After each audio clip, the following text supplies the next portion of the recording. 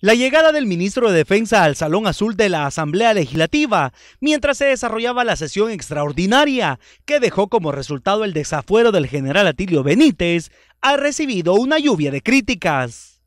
Para el diputado y militar en retiro Mauricio Vargas, no hay justificación para que David Munguía Payés se haya hecho presente con el alto mando militar.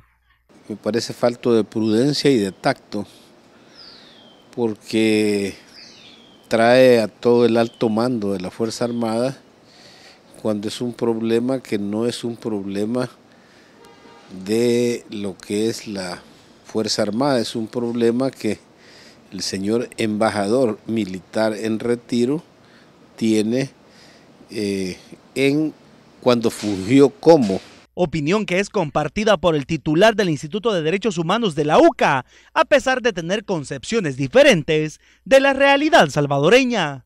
Se entiende que es por amistad. Yo sí creo que el ministro debía haber ido, en todo caso, vestido de civil, no de militar, ¿verdad? Es decir, yo eso de presencia de militares vestidos de militares cuando hay un juicio de otro militar, me parece un acto de prepotencia independientemente de que lo hagan con esa intención o no. Mientras tanto, el fiscal general de la República también cuestionó la visita de Munguía Payés al primer órgano del Estado.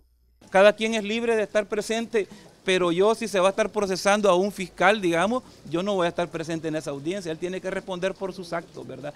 Las críticas arreciaron tras la postura mostrada por el titular de la defensa. Nos da un poco de decepción que se politice la política aquí en el país. Siempre hemos dicho que vamos a ser respetuosos de las decisiones que se tomen y lo estamos siendo, pero la Fuerza Armada ve con mucha preocupación la politización de la justicia en este país. También se ha cuestionado el por qué Munguía Payés tuvo que ser acompañado por gran parte del Estado Mayor.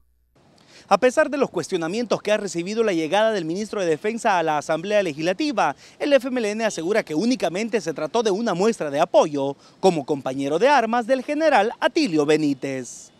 Creo que es natural que el ministro, acompañado del Estado Mayor, se hiciera presente cuando la persona a la que se estaba imputando o sobre la que se pedía el desafuero es un colega de ellos, de su generación que ha ostentado cargos similares.